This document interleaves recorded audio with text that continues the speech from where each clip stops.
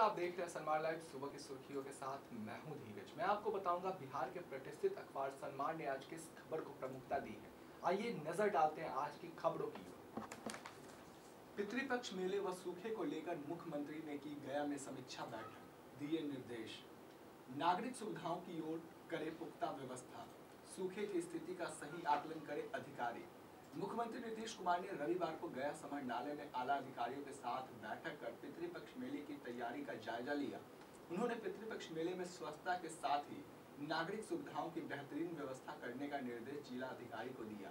कहा कि पितृपक्ष मेले में आने वाले लोगों को सुविधाओं में किसी तरह की कमी नहीं होनी चाहिए। गर्मी के मद्देनजर पेयजल का पुख्ता इंतज़ाम, साथ ही शौचालय का उत्तम व्यवस्था करवाना ज़रूरी है। साथ ही नीतीश कुमार ने आला अधिकारियों के साथ सूखे की स्थिति की भी समीक्षा की। कहा कि बिहार के लिए यह कोई नई समस्या नहीं है। प्रत्येक वर्ष राज्य में कई इलाकों में बाढ़ से तो कई इलाके को सूखे का सामना करना पड़ता है।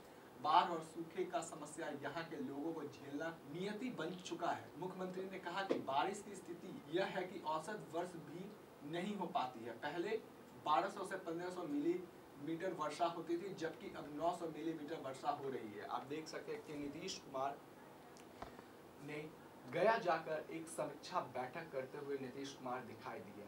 वहाँ पे नीतीश कुमार ने साफ़ तौर पे पितृपक्ष मेले को लेकर वहाँ के जिला अधिकारी और तमाम आला अधिकारियों के साथ बैठक कर उन्हें निर्देश दिया कि यहाँ पे किसी भी तरह के इस मेले में दिक्कत आम लोगों को ना उठाना पड़े। इसके लिए हर ज़रूरत की चीज़ें उन्हें मुहैया करवा दिया। चाहे गर्मी के मद्देनजर अगर बात कर ली जाए तो पेयजल की उत्तम व्यवस्था साथ ही किसी भी स्वच्छ में किसी भी तरह की समस्या ना उनके लिए अच्छे शौचालय का भी व्यवस्था कराना चाहिए कि कोई भी लोग अगर इस मेले में आए, उसका आनंद लुप्त उठाकर हो जाए, उन्हें किसी भी तरह की समस्या ना हो।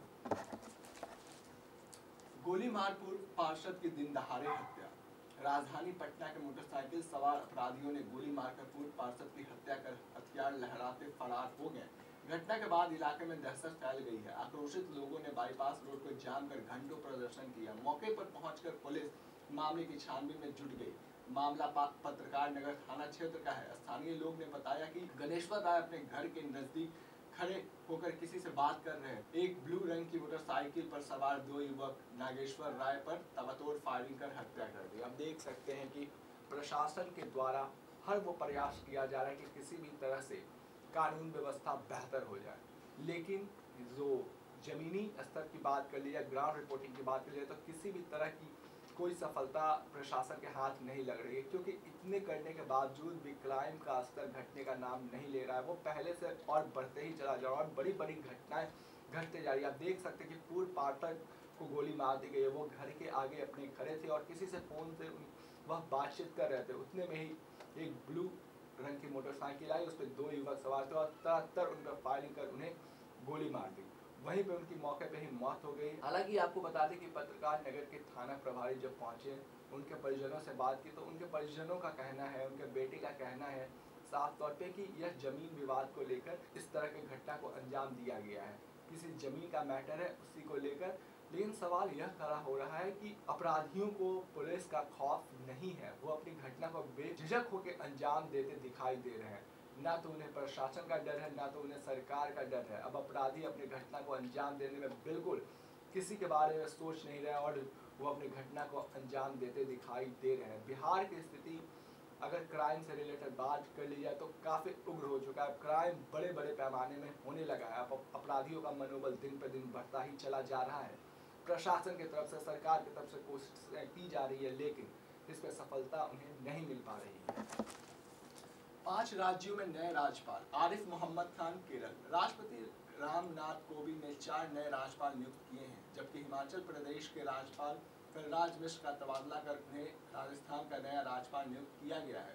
राष्ट्रपति भवन की ओर से रविवार को जारी विज्ञापित के अनुसार, सर्वश्री आसिफ मोहम्मद खान को केरल का राज्यपाल नियुक्त कर दिया गया। जबकि भगत सिंह कोशियारी को महाराष्ट्र का राज्यपाल बनाया गया है। डॉक्टर टी सुंदर, राजन तेलंगाना के राज्यपाल नियुक्त किए गए आप देख सकते हैं कि पाँच राज्यों के राज्यपाल बने हैं। आपको बता दें कि रामनाथ कोविंद, जो कि भारत के राष्ट्रपति हैं, उन्होंने अपने जारी विज्ञापित में उन्होंने साफ़ तौर पर पाँच राज्यों के राज्यपाल को बदला गया है। अनुच्छेद 370 पर निरर्थक बयान न दे विपक्ष शाह विपक्षी नेता ध्यान रखे कि पाकिस्तान उनके बयानों का उल्लेख कर विदेशों में दुष्प्रचार न करे। केंद्रीय गृह मंत्री अमित शाह ने कहा कि जम्मू कश्मीर में अनुच्छेद 370 और 35 ए को हटाने को लेकर विपक्षी दलों के नेताओं को उलझलूल बयानों से बचना चाहिए, ताकि पाकिस्तान उनके बयानों का उल्लेख कर विदेशों में दुष्प्रचार न करे। आप देख सकते हैं अमित शाह ने साफ़ तौर पर विपक्ष के नेताओं से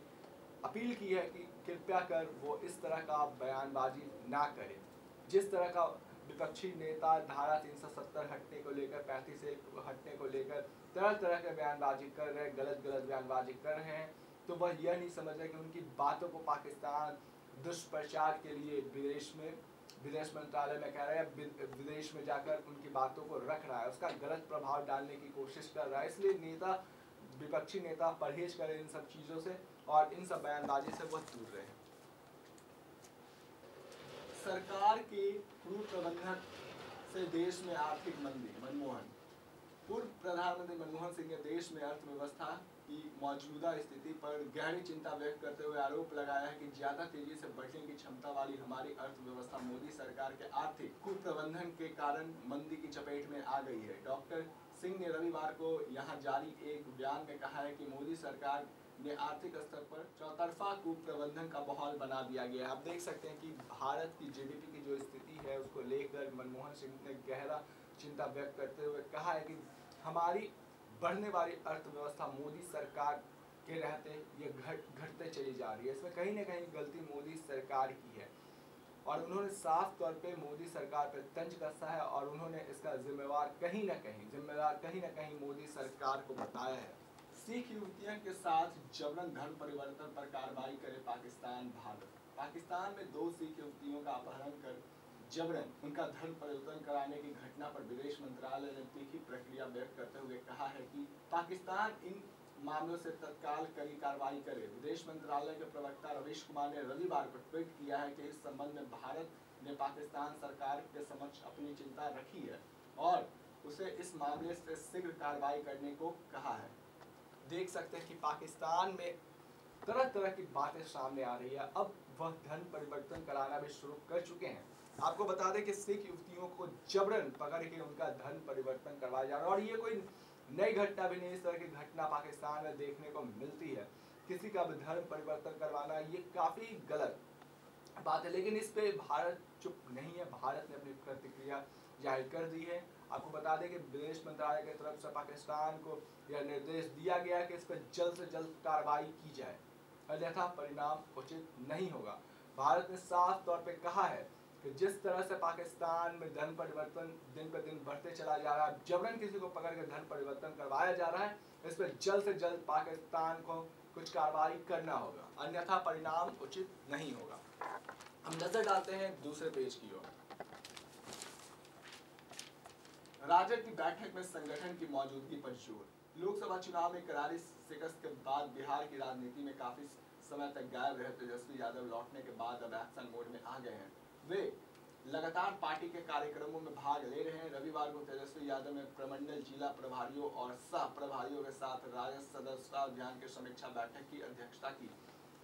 देख सकते हैं कि तेजस्वी यादव लोकसभा चुनाव में करार शिकस्त के बाद वह काफ़ी नाखुश रहते थे और उनकी मौजूदगी आम सभाओं में या आम बैठकों में नहीं होती थी। लेकिन काफ़ी दिनों के बाद, लौटने के बाद तेजस्वी यादव अब बिल्कुल एक्टिव मोड में दिख रहे हैं। वह हर वो कार्यक्रम जो महागठबंधन से या राजद से जुड़े हर वो कार्यक्रमों में उनकी उपस्थिति रह रही है। वो हर वो कार्यक्रम में मौजूद रह रहे हैं और सलाह देते दिखाई दे रहे हैं और उनका साफ़ कहना है कि हमारी कमज़ोरी कहीं ना कहीं दूसरे पे विश्वास करें और कहीं ना कहीं आने वाले जो 2020 में विधानसभा चुनाव होने वाला है, उसकी भी समीक्षा करते दिखाई दे रहे थे। तेजस्वी यादव उनका साफ़ कहना कि, हार जीत तो लगी रहती है, लेकिन इस बार हमें जीतना है, पूरी मजबूती के साथ जीतना है। आपको बता दें कि इसके पहले भी राजद ने और महागठबंधन ने एक अहम बैठक बुलाई गई थी, राबड़ी आवास पर, जिस पे तमाम लोगों के महागठबंधन के तमाम नेताओं की मौजूदगी रही।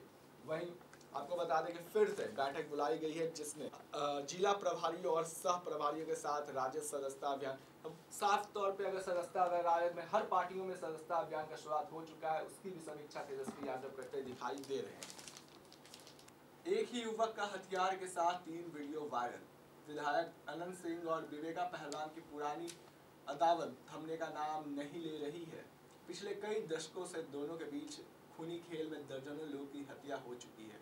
अब ताज़ा मामला है कि जहाँ अनंत सिंह को बाहुबली विधायक की संज्ञा दी गई है, वहीं विवेका पहलवान को जेडीयू का संरक्षण मिलने के बाद पिछले लोकसभा चुनाव में चर्चा में है। हालिया घटना की बात कर ले तो कई हत्या और संगीन मामले के आरोपी विधायक अनंत सिंह के घर बरामद ए के और हैंड ग्रेनेड बरामदगी मामले पर गिरफ्तारी करने के बाद जुटी थी। एक दौरान अनंत सिंह पुलिस के से फरार हुए, वीडियो वायरल का निर्दोष और जेडीयू के कुछ नेताओं के साथ बार एसपी लिपि सिंह पर फंसाने का आरोप लगाया था, जिसमें जाने जिसमें विवेका पहलवान की पूरी मदद ली गई थी।